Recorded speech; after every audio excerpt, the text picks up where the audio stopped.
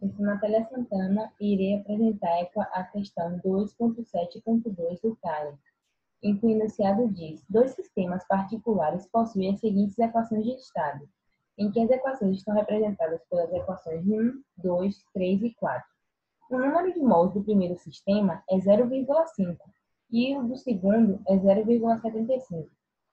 Os dois sistemas estão contidos em um cilindro fechado, separados por um pistão fixo adiabático, ou seja, não há troca de calor, e impermeável, o fluido, ou seja, o fluido não consegue atravessar. As temperaturas iniciais são temperatura 1, 200 Kelvin, temperatura 2, 300 Kelvin, e o volume total é 20 litros. A trave é então removida e o isolamento adiabático também, de forma que o pistão torna-se móvel, diatérmico, ou seja, ele permite a passagem de calor, e impermeável, qual a energia, volume, pressão e a temperatura de cada subsistema quando o equilíbrio é estabelecido? É suficiente tomar que a constante dos gases ideais, o R, é aproximadamente 8,3 Joule por mol Kelvin e suponha que a pressão externa seja zero. Iniciando a resolução, substituindo nas equações 1 e 2 os valores informados no enunciado, ou seja, substituindo nessas equações Nessas equações, os valores informados no enunciado, equação 1 e 2, podemos encontrar a energia interna 1, que foi de 1.245 Joule, e a energia interna 2, que foi de 4.668,75 Joule. E então, calcular a energia total através da equação 7, que determina que a energia interna 1 mais a energia interna 2 é igual à energia total, então, a energia interna 1 mais a energia interna 2 é igual a 5.913,75 joules. Então, pode-se considerar que a energia interna 2 é igual à energia total menos a energia interna 1. Para encontrar as energias, os volumes, as pressões e as temperaturas de cada subsistema no equilíbrio, utiliza-se as duas equações a seguir da condição de equilíbrio, em que a equação 8 representa que, no equilíbrio, as temperaturas são iguais e a equação 9 determina que, no equilíbrio, as pressões são iguais. Considerando a condição de equilíbrio da temperatura representada pela equação 8, ou seja, que no equilíbrio as temperaturas são iguais,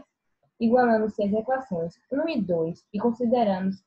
e considerando a energia interna 2 encontrada pela equação 7, que foi essa, obtém-se a energia interna 1 e a energia interna 2 no equilíbrio, em que a energia interna 1 no equilíbrio encontrada foi de 1.689,643 joules e a energia interna 2 encontrada no equilíbrio foi de 4.224,107 joules. Com essas energias encontradas no equilíbrio, podemos encontrar as temperaturas no equilíbrio através das equações 1 e 2, em que a temperatura é, 1 encontrada no equilíbrio foi 271,43 Kelvin a temperatura 2 encontrada no equilíbrio foi de 271,43 Kelvin, o que comprova que essas temperaturas estão no equilíbrio, pois no equilíbrio as temperaturas são iguais, e as temperaturas 1 e 2 no equilíbrio foram iguais. O volume total dado no enunciado da questão é de 20 litros e pode ser representado através da equação 10, que é volume total é igual ao volume 1 mais volume 2, ou seja, o 20 litros que foi dado no enunciado, o volume total, é igual ao volume 1 mais volume 2. Então, pode-se determinar que o volume total menos o volume 1 é igual ao volume 2.